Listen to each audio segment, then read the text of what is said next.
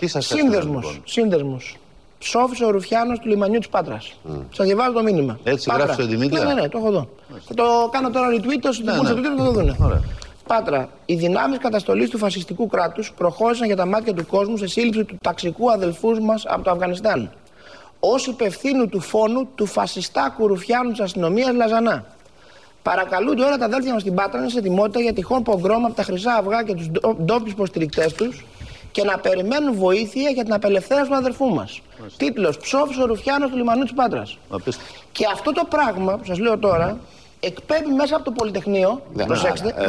το υπερασπίζεται κόμμα που Εγώ δεν διεκδικεί την ξέρω εξουσία. ποιος Α, τον λίγα- κύριε Λιλιτζή, Μα, παρακαλώ. μισό λεπτό, ε, Πα- μισό πα- λεπτό, πολύ κύριε σοβαρό. Γεωργιάδη, Είναι επειδή πολύ πολύ σοβαρά σοβαρό. τα πράγματα. Γιατί Εγώ ένας θα έλεγα ότι 29χρονος βγαίνεστε όμως από μία- Ένας κάτι που βγαίνει από 29χρονος οποιοδήποτε που δεν το ξέρω Κύριε ποιος είναι, Λιλιτζή, απέναντι σε ένα ένας γεγονός που είναι 29χρονος πραγματικό. κατεσφάγει. Μα Τον έχουμε ένα μαχαίρωναν τρεις πραγματικό άνθρωποι. γεγονός. Είναι πραγμα- Αυτό λέμε τώρα. αν Είναι, Προσέξτε. αυτό το δημοσίευμα που λέτε είναι βέβαιο ότι είναι στο Φυσικά, Ιντερνετ. να ή το είναι στο στο έχω εδώ, Ιντερνετ, το έχω καμιά εδώ, θα κάνω προβοκάτσια. retweet τώρα. Α, Τι το λέει. ξέρω ποιος το έχει Θα γράψει, το- εντάξει. Θα το έχω στείλει. Τι λέει τώρα. Άμα είναι Και κρεμασμένο αυτό στο το πράγμα Ιντερνετ, το είναι στο προασπίζει το Ιντερνετ. ΣΥΡΙΖΑ. Τελείως. Και με τώρα συζητάμε. Δίπλα- δίπλα σας είναι Δεν το εκπρόσωπος ρωτήσουμε του τώρα. ΣΥΡΙΖΑ. Ναι, Και ναι. τώρα συζητάμε για το που έχει φτάσει η Ελλάδα.